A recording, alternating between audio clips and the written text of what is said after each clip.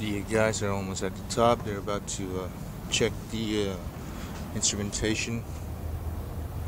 They usually do this every Wednesday, but right now it's their time to do it because I don't feel like doing it.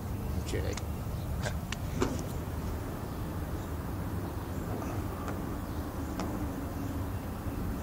Sila naman.